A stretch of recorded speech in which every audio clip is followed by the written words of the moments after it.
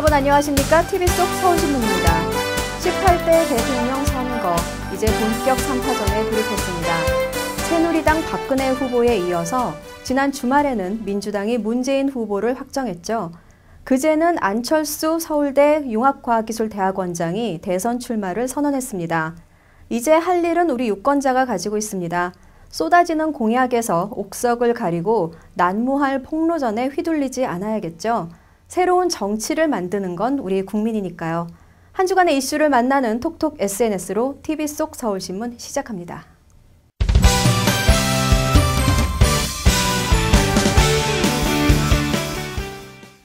안녕하십니까. SNS에 나타난 목소리를 통해 한 주일 동안 뉴스의 흐름을 짚어보는 톡톡 SNS입니다. 이번 주에는 문재인, 안철수 두 대선 후보가 이슈의 중심에 있었습니다. 문재인 의원이 민주통합당 대통령 후보로 선출되고 안철수 서울대 융합과학기술대학원장의 출마 선언이 이어지면서 SNS도 대선 전국 속으로 깊숙이 빠져들었습니다. 문재인 후보에게는 수고하셨습니다. 이제는 하나된 민주당으로 정권 교체를 위해 뛰어주시기. 문재인 후보와 안철수 원장에게 가장 어울리는 한 단어를 찾으라면 바로 동행이다라는 등의 격려와 기대가 쏟아졌습니다. 반면에 문재인 후보야말로 실패한 노무현 정권의 패족 아닌가요라는 등 다시 돋친 반응도 나왔습니다.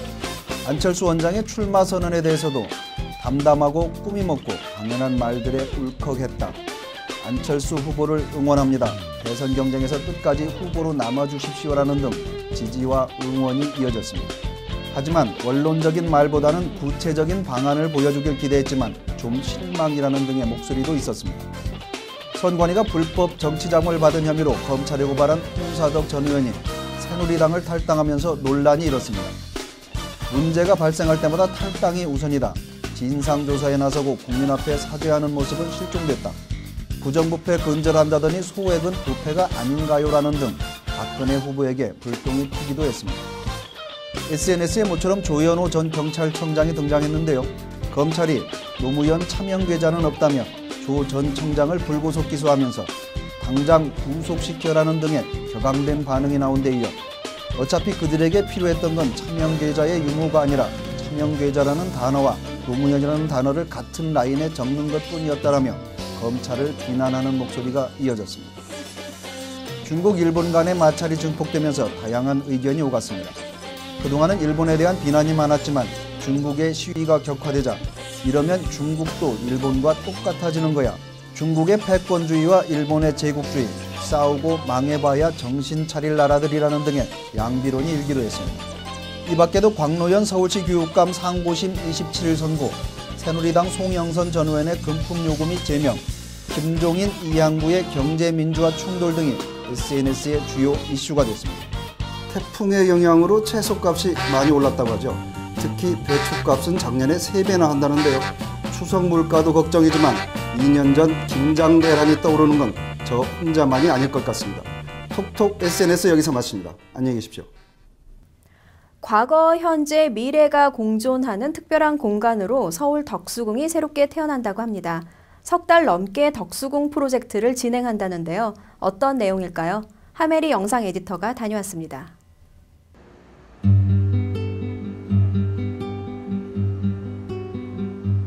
파란만장한 역사의 현장이었던 덕수궁이 현대미술과 만나 도심 속 예술 공간으로 새롭게 태어났습니다. 덕수궁의 역사와 문화유산을 현대 예술의 시각으로 재해석한 전시회 덕수궁 프로젝트가 18일 개막식과 함께 시작됐습니다. 오는 12월 2일까지 105일간 열리는 이 전시회는 덕수궁의 중화전, 행각, 함령전, 덕홍전, 서거당, 정관헌 등 6개 정각과 후원에 모두 9개의 프로젝트가 진행됩니다. 서도호, 정영두, 이수경, 이망택, 김영석, 정서영 등 다양한 분야의 작가 12명이 참여했습니다. 덕수궁의 역사가 지닌 육중한 무게감에 작가 특유의 상상력과 해석을 시도해 새로운 생명력을 불어넣었습니다. 덕수궁은 임진왜란과 대한제국 시대에 굉장히 특별한 역사성을 지닌 곳입니다. 이런 과거의 궁에 현대미술 작품을 설치하면서 과거와 현재가 만나는 특별한 시간적 경험을 하실 수 있을 것입니다. 대한문으로 들어가 가장 먼저 만나는 함령전은 고종의 침소가 있었던 곳으로 고종은 1919년 이곳에서 승하했습니다. 작가 서도호는 설치 작품과 영상물, 퍼포먼스 등으로 고종의 이 내밀한 공간을 재현했습니다. 그 당시를 돌이켜 보면서 어 진짜 타임머신이 있다면 가가지고 역사를 바, 돌이켜 보고 싶었던 어떤 그런 진짜 그 분통한 마음, 갑갑한 부분들 어, 그런 거를 전시 준비 내내 에, 느꼈던. 함령전 바로 옆에 자리한 덕홍전은 원래 명성황후 신주를 모시는 혼전 경효전이 있던 곳입니다. 이 신성한 장소가 한일 병합 후 일본인 통치자의 접견 장소로 변형되면서 바닥이 입식 구조로 바뀌고 내부 또한 화려하게 장식됐습니다. 비틀린 이 공간에 가구 디자이너 하지우는 크롬 도장의 좌식 의자들을 가득 채워 불규칙한 반사 효과를 증폭시켰습니다. 최승훈과 박선미는 170동 이상의 전각을 가지고 있던 경운궁의 옛 모습을 크리스털 블럭으로 재현해 찬란하면서도 무상한 세월을 표현했습니다. 이런 어려운 공간에서 작업을 한번 풀어보는 기회가 있다는 것은 저희 평생 뭐 흔치 않은 기회일 것 같아서 굉장히 영광이고 그러나 위보형을 시기한 양부인은 사운드 아티스트 성기화는 조선 왕실의 소설 중 흥미로운 대목을 아나운서의 목소리로 녹음해 중화전 행각을 가득 메웁니다. 작가 류재하는 중화전 전면에 미디어 영상을 쏘아 올립니다. 앞마당 바닥에서 2층의 월대를 거쳐 중화전 건물로 이어지는 거대한 영상 효과가 압도적입니다. 작가 이수경은 선조가 승하하고 임목 대비가 유폐되기도 했던 서거당에 비극적 운명을 상징하는 거대한 눈물 조각을 설치했습니다. 서거당의 즉조당 쪽 공간에는 고종시대에 덕혜옹주를 위한 유치원이 만들어지기도 했습니다. 한복 디자이너 김영석은 다양한 사연을 담은 서거당의 방들을 아름답고 여성적인 공간으로 변화시켰습니다. 지극히 행복했던 덕혜옹주의 한 시절을 되돌리려는 듯 아련한 기억과 향수를 이끌어냅니다. 그 시대가 슬프고 힘들었었지만 또 행복했던 순간들이 있기 때문에 그 짧았던 행복한 순간을 좀 길게 연장해서 이 전시 기간 동안에도 이런 행복한 공간을 즐겨줬으면 하는 바람에서 이런 전시를 기획하게 됐습니다. 연못가 숲속에는 최승훈과 박선민의 그림자놀이 영상이 설치돼 역사 속 시간의 흐름을 실감하게 했습니다. 국립현대미술관과 문화재청이 기획한 이번 덕수궁 프로젝트는 과거, 현재, 미래가 공존하는 특별한 공간 덕수궁의 가치를 재발견할 수 있는 훌륭한 기회를 마련하고 있습니다. 서울신문 하멜입니다. 파주 출판 도시에서 책과 문화가 어우러지는 북소리 축제가 열리고 있습니다. 책 자체의 가치를 높이는 다양한 프로그램이 있다는데요. 박홍규 PD가 소개합니다. 아시아 최대 규모의 책 축제 파주 북소리가 지난 15일 파주 출판 도시에서 성대한 막을 올렸습니다. 지난해 첫 손을 보이며 세계적 관심을 모은 이 축제는 올해 6월 파주 출판 도시가 세계 책마을 협회 정회원에 가입되는 계기로 그 의미를 더하고 있습니다. 책 만드는 사람, 책 읽는 사람, 책 쓰는 사람들이 함께 모여서 펼치는 지식 축제입니다. 금년에 우리가 내세운 것은 어, 책으로 소통하는 아시아, 책으로 하나 되는 아시아입니다. 올해 축제에는 한국, 중국, 타이완, 일본, 홍콩 등 동북아시아의 대표 출판인들이 제정한 출판 문화상 파주 북 어워드의 4개 부분 시상식도 열렸습니다. 파주 북 어워드의 첫 수상자로는 중국의 첸리친이 선정됐습니다. 아세아 지역의 출판인들의 정보 교환이라든가 인적 교류 그런 것에서 굉장히 이게 중요한 거죠. 북소리 축제와 더불어서 하는 이 어워드는 굉장히 그런 뜻에서 의미가 깊습니다. 올해 파주 북소리에는 한글 탄생 569주년을 맞아 한글의 역사와 언어적 특징 등을 과학적으로 조명하는 한글 500년의 대장정 기념 강좌가 마련돼 눈길을 끕니다. 전시 공간은 열림, 울림, 어울림의 세 개 부분으로 나눠 한글 사전의 유래 등 한글에 관한 기초 상식뿐만 아니라 한글 편지, 한글 족보 등 선조들이 한글을 새기고 기록했던 다양한 생활 용품도 전시됩니다. 관람객을 위한 체험 공간을 마련해 40개의 기둥 속에 4편의 한글 명시를 음미하도록 했으며 7m 길이로 제작된 거대한 흑판에 전시 참관 소감을 남길 수도 있습니다. 우리 아이가 한글을 배우는 중에 있기 때문에 굉장히 도움이 많이 될 것 같고 한글을 우선 글자 같은 것도 책으로 보는 글자와 달리 여기서는 예전서부터 있던 한글 어떻게 변화한 것도 볼 수 있고 국립중앙도서관 소장 희귀 잡지를 선보이는 추억의 그 잡지 특별전에서는 우리나라 잡지의 역사를 한눈에 볼 수 있습니다. 해방 전후에 간행된 주간지, 월간지, 문예지의 창간호와 우리나라 최초의 근대 잡지 소년 등이 전시되고 있습니다.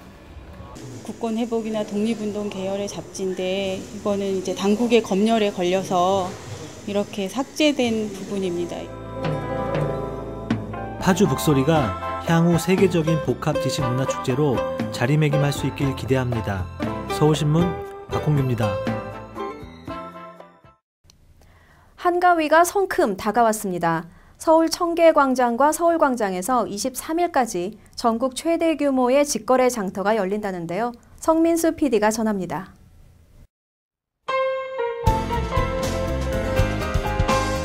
지난 19일 시작해 23일까지 열리는 2012 나눔 가족 농수산물 서울 장터에서는 134개 시군구의 지역 특산물 1,900여 품목이 판매되고 있습니다. 서울 광장과 청계 광장에서 실시되는 이번 행사는 가격도 10%에서 30%가량 저렴해 시민들에게 좋은 반응을 얻고 있습니다. 네, 농촌 어민들, 뭐 서민들 팔아주는 의미도 있고 또 우리가 또 싸게 구입도 할 수 있으니까 서로 좋죠. 뭐. 10마리에 2만 원에서 10만 원 하는 영광 굴비부터 금산의 대표 특산품인 인삼까지 다양한 품목들이 판매되고 있습니다. 특히 태풍의 영향으로 피해가 많았던 나주배의 경우 낙과를 3개에 만 원에 판매해 소비자들에게 큰 반응을 얻었습니다. 굉장히 잘 샀다는 느낌이 드는데 저희들도 윈윈할 수 있는 좋은 기회인 것 같아요. 추석 용품 판매뿐 아니라 각 행사장에서는 자치구별 공연과 떡매치기 체험 등 다양한 문화 공연이 준비돼 장보기의 재미와 즐거움을 더했습니다. 그 시청 광장에 나오시면 어, 상품들이 좋은 상품들이 저렴한 가격으로 드리고 있습니다. 많이 이용해 주십시오. 올해 4회째 맞이하는 행사는 회를 거듭할수록 시민들의 호응도가 높아지고 있습니다. 행사 총 매출은 첫 해인 2009년 56억으로 시작해 2010년 60억 원, 2011년 68억 원으로 매년 증가하고 있습니다. 우리 농산물을 가지고 풍성한 추석상을 차릴 수 있는 기회가 돼서 어, 도시와 농촌이 서로 돕고 상생하는 그런 화합의 장으로 마련되었습니다. 이 밖에도 서울 도시철도 7호선 구간 연장으로 인해 오는 28일까지만 운영하는 장터 열차, 24일부터 은평구, 관악구, 서초구 등 각 자치구별로 실시하는 추석 장터가 지방 특산물을 쌓아두고 손님 맞을 준비를 하고 있습니다. 추석 전 수요 급증과 태풍의 피해로 농수산물 가격이 만만치가 않습니다. 알뜰 장보기로 풍성하고 넉넉한 추석 명절 되시길 기대합니다. 서울신문 성문수입니다.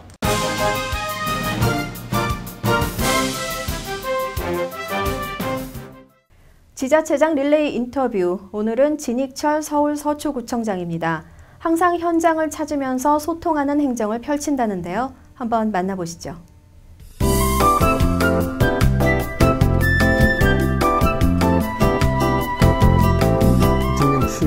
동시에 현장에 가면 답이 있다. 이래서 현장에서 우리 서초 국민들의 말씀을 끊임없이 듣고 그 말씀을 통해서 배우고 또 이렇게 즉시 반응하는 이런 그 소통 행정을 통해서 서초를 삶의 질 세길동 서초로 어, 만들어 어, 간다는 게 우리 서초 국민과 약속이었고 제 꿈이었어요. 비전이었습니다. 근데 한 2년 이제 예, 넘었는데 임기 절반을 넘었습니다. 넘었는데 그동안에 그 출산율이 출산 증가율이 최고였다. 아, 15.1%. 제가 구청장으로 어, 취임 했을 때는 하루에 어린아이가 어, 44만 명이 사는데 10명 정도 태어났어요. 그래서 2년이 지나고 나온 오늘 현재 하루에 한 12명 정도 태어납니다. 그래서 요게 15.1% 어, 늘어났다. 카카오톡이나 뭐 이런 그 트위터나 이런 걸로 통해서 어, 한 소통한 결과로 어, 서초구가 지방자치단체 230개 중에서 인터넷 소통 대상을 그 수상한 바가 있습니다. 그리고 최근에는 서울시에서 이제 25개 자치구를 대상으로 행복 지수를 조사했는데 예, 거기서도 어, 1위를 차지했습니다. 저뿐만이 아니고 18개 동장들 뭐 같이 뛴 결과 뭐 이렇게 에, 좀 반올림해서 하면은 한 9천 건 가까이 됩니다. 그 중에서 그 뭐 이렇게 에, 주민들 입장에서 해결된 것이 한 2천 건 가량 되, 어, 되고 이러다 보니까 어, 주민들이 서초구청 공무원들이 정말 기민하게 움직인다. 옛날하고 다르게. 그런 데서 이렇게 즉각 이렇게 주민 입장에서 반응해 주니까 거기서 조그만한 감동을 받게 되고 그게 이제 어, 행복 지수로 나타났다. 특히 이제 도어 투도 비짓 통해 가지고는 주로 방문 대상이 기초생활 수급자, 또 틈새계층, 또이 저한 저 한부모 뭐뭐 어, 그래. 또뭐 이 독거 노인. 이런 분들 위주로 어, 방문을 했는데 그거 보면은 이제 정말 참 이렇게 에, 딱한 그런 특수 사례들이 있습니다. 지금은 우리 직원들도 자기들 스스로가 현장을 뛰면서 그렇게 즉시 반응해 주니까 주민들이 감동을 한다 이 말입니다. 조그만한 노력에 그렇게 사소한 노력에 그렇게 대단한 감동을 해주니까 우리 직원들도 이제는 보람을 느끼기 시작하는 거예요. 행복, 행복감을 느끼기 시작하는 거예요. 일자리 창출이 곧 복진이기 때문에 그 우리 그 우면 이지구 거기에 R&D 단지 부지가 한 그 2만 평 가량 있습니다. 무려 어, 한 1조 원을 거기 투입합니다. 그래서 2000 늦어도 2015년 상반기쯤 되면은 이제 거기서 건물하게 되는데 삼성전자의 그 디자인 단지 그리고 생명공학 단지가 거기에 들어서는가 봐요. 예. 그러면은 석박사 학위를 갖고 있는 어, 대한, 뭐, 뭐, 세계적인 그런 인재 한 만 명이 거기에 이제 건물을 하게 됩니다. 실리콘 밸리, 북경의 중간층 같은 예. 그런 단지가 소초에 예, 들어서게 되는 겁니다. 볼라벤과 덴빈, 산바까지 태풍이 연이어 몰아치면서 전국에 6만 8천 가구가 피해를 입었다고 합니다. 피해 복구액이 천억 원에 이른다고 하는데요. 도움의 손길이 그 어느 때보다 절실합니다. 한국신문협회는 10월 31일까지 성금 모금을 진행합니다. 다양한 방법으로 기부에 참여하실 수 있으니까요. 여러분의 따뜻한 손길 기다리겠습니다. TV 속 서울신문 오늘은 여기까지입니다. 저희는 다음 주 이 시간에 다시 찾아뵙겠습니다. 안녕히 계십시오.